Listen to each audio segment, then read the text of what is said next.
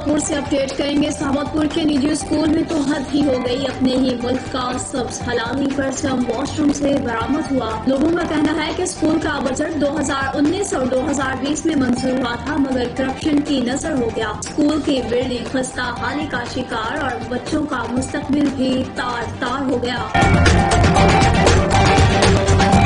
सोबतपुर से अपडेट करेंगे जाफ़र खान कुंदरानी की रिपोर्ट के मुताबिक मानसीपुर के डिप्टी कमिश्नर सोबतपुर मीर अजीम खान की खसूस हिदायत पर असिस्टेंट कमिश्नर मानसीपुर अब्दुल करीम मुफ्ती तहसीलदार मानसीपुर मोहम्मद खान मेंगल, कानून को सवाली खान मेंगल और तहसील अमला मानसीपुर का शहर में महँगाई के खिलाफ क्रैकडाउन जारी। तफसीत के मुताबिक ए सी मानसीपुर ने ताजर ब्रासरी मेडिकल स्टोर सब्ज़ी, फ्रोश और अरशिया खुर्दानोश की चीज़ें रेड लिस्ट के मुताबिक फरोख्त करें। खिलाफ वर्जी करने वाले दुकानदारों पर भारी जुर्माना और कानूनी कार्रवाई अमल में लाई जाएगी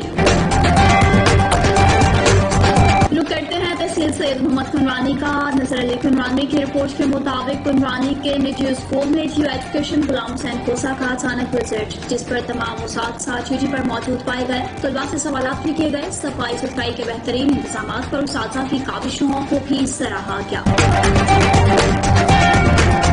टंडोला हाट से अपडेट करेंगे शहरी हो जाए होशियार जो भी शहरी अपनी गाड़ी को बगैर लॉक के खड़ी करेगा, पुलिस गाड़ी को अपनी तहवील में लेकर अदालत में पेश करेगी। मोटरसाइकिल चोरी करने वाले ग्रोह को किसी भी सूरत में, शहर में मोटरसाइकिल चोरी करने या छीनने नहीं दिया जाएगा। शहर के दाखिले और खारजी रास्तों पर चेकिंग का अमल भी शुरू कर दिया गया है। बगैर कागजात गाड़ियाँ चलाने वालों के खिलाफ भी कार्रवाई अमल में लाई जाएगी एस एच ओ